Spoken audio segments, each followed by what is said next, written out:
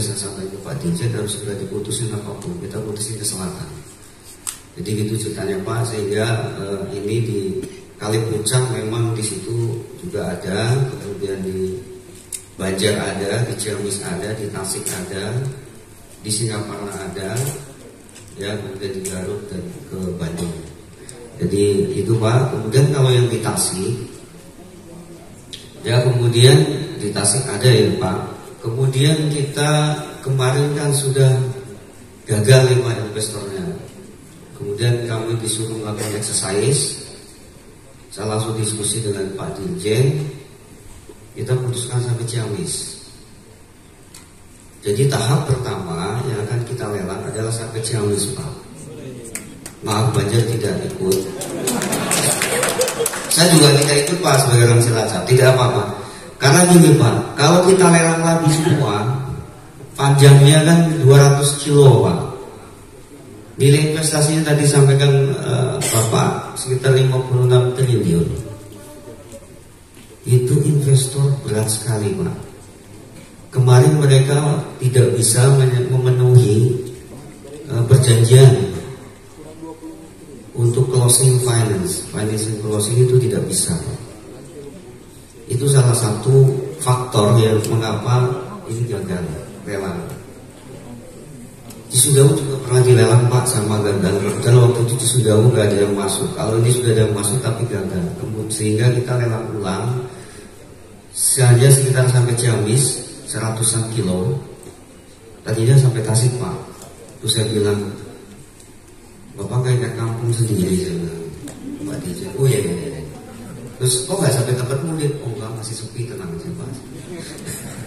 Ini guyon aja Pak. Artinya tapi memang benar Pak, setelah kita lakukan modeling ya, setelah lakukan modeling sekitar tiga bulan yang lalu, itu memang Ciamis Banjar masih cukup sepi Pak.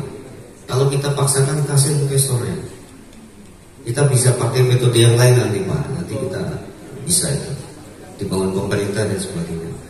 Nah sementara kita akan endorse yang sampai Ciamis Pak dan itu sudah dalam tahap PQ itu nilainya aja sudah hampir 40 triliun Pak. Besar sekali. Ini 10% Trans Sumatera. Trans Sumatera yang panjangnya 2800 kilo itu 400 triliun Pak.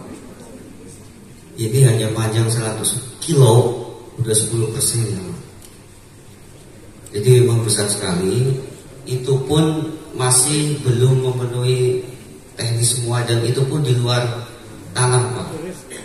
Di luar tanah kalau konstruksinya sendiri sekitar 30 triliun. Tanah oleh pemerintah dan sekarang sudah uh, mulai uh, bekerja. Jadi tanahnya itu sekitar sudah 13,96 persen.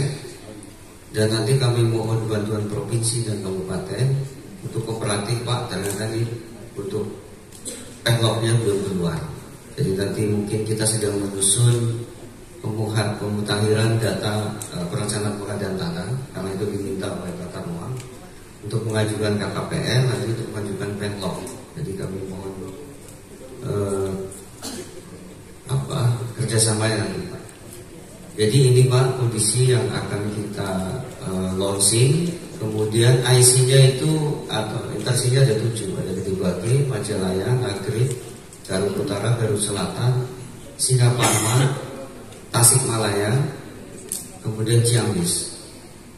Kemudian tadi saya cek eh, rest areanya itu ada di antara Nagrib dengan Garut, ada di antara Garut Selatan dengan Singaparna Pak.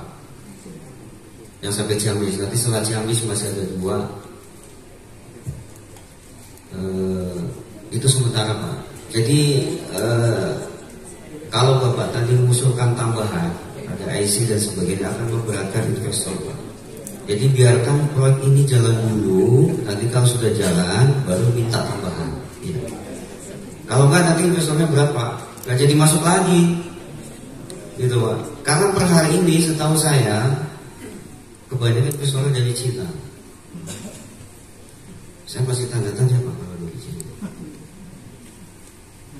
Ya, kecuali kalau sudah untuk pemerintah cuma kita pinjam dari Cina. Dua hal yang